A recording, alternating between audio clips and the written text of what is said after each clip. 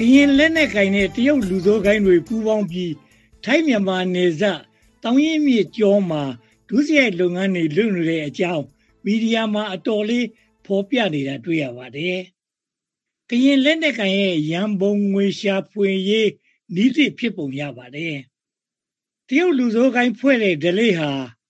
19ရာစုကစတင်ခဲ့တာမို့အစင်းအနာကြီးတယ်လို့ပြောနိုင်ပါတယ်။အင်္ဂလိပ်လို triad အဖွဲ့လို့လူဒီများပြီးတရုတ်လိုစန်ဟီဝဲလို့ခေါ်ပါတယ်။အာဂတပထဝီနဲ့လူသားတို့ကိုရည်ညွှန်းတဲ့သုံးပွင့်ဆိုင်ခိုင်းပါပဲ။မင်းမင်းဆက်မှာပြန်လဲထူထောင်ပြီးမန်ချူကျင်အစိုးရကိုဖြုတ်ချဖို့ရည်ရွယ်တာမို့နိုင်ငံရေးဥတီချက်ရှိတဲ့တရုတ်ဝက်ဂိုင်းလို့ပြောနိုင်ပါတယ်။ဒါပေမဲ့ကူမင်တန်ပါတီကြီးစိုးတဲ့တရုတ်သမ္မတနိုင်ငံခေတ်မှာနိုင်ငံရေးပြိုင်ဘက်တွေကို သုတ်သင်ရှင်းလင်းဖို့စမ်းဟီဝေလျှို့ဝက်ကိုင်းကိုသုံးချောင်းသိရပါလေကွန်မြူနတီအာဏာရလာတဲ့အခါမှာလျှို့ဝက်ကိုင်းတွေကိုနှိမ်နင်းတဲ့အတွက်ဟောင်ကောင်ထိုင်ဝမ်နဲ့အရှေ့တောင်အာရှကိုရွှေ့ပြောင်းအခြေစိုက်ကြပါတယ်မူရည်စေးဆက်ကြီးလောင်ကစားကြီးစတဲ့ဒုစရိုက်လုပ်ငန်းတွေနဲ့ငွေရှာကြပါတယ်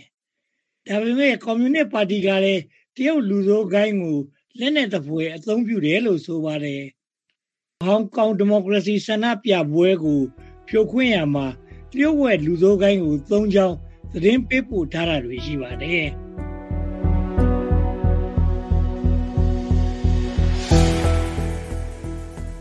တရုတ်ကွန်မြူနစ်ပါတီနဲ့နှီးစပ်တယ်ဆိုတဲ့တရုတ်လူစိုးကြီးတကြိုးကြီးခေါ်ဝမ်ကူအော့ကွိုင်ဟာက ရင်ပြည်နယ်ရွှေကုတ်ကိုနဲ့ KK ပတ်ကဒုစရိုက်လုပ်ငန်းတွေနဲ့ ပတ်သက်နေကြောင်း သိရပါတယ်။လူဦးရေ2000နီးပါးသာရှိတဲ့ ပလောင်းကျွန်းမှာလည်းတကြိုးကြီးက ရင်းနှီးထားပါတယ်။ဖိလစ်ပိုင်နိုင်ငံ အရှေ့ဘက် မိုင်900အကွာ တိုကျိုမြို့တောင်ဘက် မိုင်2000အကွာမှာ ပလောင်းကျွန်း တည်ရှိပြီး အသေးဆုံးသဗ္ဗရနိုင်ငံစည်ရေးမှာ ပါဝင်ပါတယ်။အမေရိကန်ဒေါ်လာကိုသုံးပြီး ထိုင်ဝမ်ကို အသိအမှတ်ပြုတဲ့နိုင်ငံလေးဖြစ်ပါတယ်။အမေရိကန်အစိုးရကသကြိုးကြီးဝမ်ခူအော့ကွိုင်ကိုဒဏ်ခတ်အရေးယူထားပြီးကွန်မြူနစ်ပါတီဝင်ဖြစ်တယ်လို့လည်းဆွဆွဲထားပါတယ်။တရုတ်အစိုးရကတော့တကြိုးကြီးဟာကွန်မြူနစ်ပါတီဝင်မဟုတ်ဘူးလို့ညင်းဆိုထားပါတယ်။ဒါပေမဲ့ပါတီဝင်89တန်းရှိတဲ့အဖွဲ့အစည်းမှာ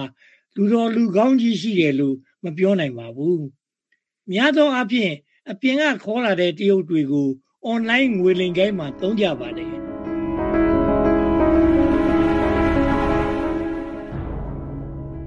တရုတ်ပြည်မှာစောက်ကြည့်ရေးကင်မရာပေါင်းတန်း900နဲ့လက်ကင်ဖုန်းတန်း1900ရှိတာကြောင့်စုံစမ်းထောက်လှမ်းရေးမှာအစိုးရကအစွမ်းထက်နေပါတယ်။ဒါကြောင့်ကွန်မြူနစ်ပါတီမသိတာမရှိဘူးလို့တောင်ပြောနိုင်ပါတယ် လောက်ကင်ကငွေလိမ်ကိုင်းကြောင့်စီးပွားရေးထိခိုက်လာတာကိုသိတဲ့အတွက်ကြားဖြန့်လုပ်ငန်းတိုက်ဖျက်ရေးကိုစီယုံလှုပ်ရှားကြတာဖြစ်ပါတယ်။ထိုင်းမြန်မာနယ်စပ်တရုတ်ကရင်ဒုစရိုက်ဖက်ဆက်လုပ်ငန်းကိုတရုတ်အစိုးရဒေါသမထွက်အောင်စောချစ်သူတို့အဖွဲ့ကလောက်ကင်နေပုံကို USIP သူတေသီ Jason Tower နဲ့ Priscilla Clapp တို့ကစက်တင်ဘာ26ရက်နေ့ကအစီရင်ခံစာထုတ်ပြန်ထားပါတယ်။ ကိုကမှနေနှင်းခံလိုက်ရတဲ့ online ငိုနေကိုင်းတွေစောချစ်သူတပ်ဖွဲ့ထိန်းချုပ်တဲ့ဒေသကိုရောက်လာတာအမေရိကန်နဲ့အာဆီယံနိုင်ငံအတွက်အန္တရာယ်ရှိတယ်လို့ဆိုပါတယ်။ကိုကနေကြားဆောင်ရဲ့ဒုစရိုက်လုပ်ငန်းကြောင့်တရုတ်အာဏာပိုင်တွေဒေါသထွက်သွားတာမျိုးမဖြစ်ရအောင်စောချစ်သူအုပ်စုကစီစဉ်ထားပုံရပါတယ်။ online လုပ်ငန်းရှင်တွေကိုနှင်ထုတ်တဲ့စတိပေးစိုင်းပုတ်ကြီးတွေကိုမြောက်ဝတီတဝိုက်မှာ ထောင်ထားပြီးစစ်ကောင်စီနဲ့စောချစ်သူတို့အဖွဲ့ကကြားဖြန့်ဆန့်ကျင်ရေးလုပ်နေကြောင်းပြသထားပါတယ်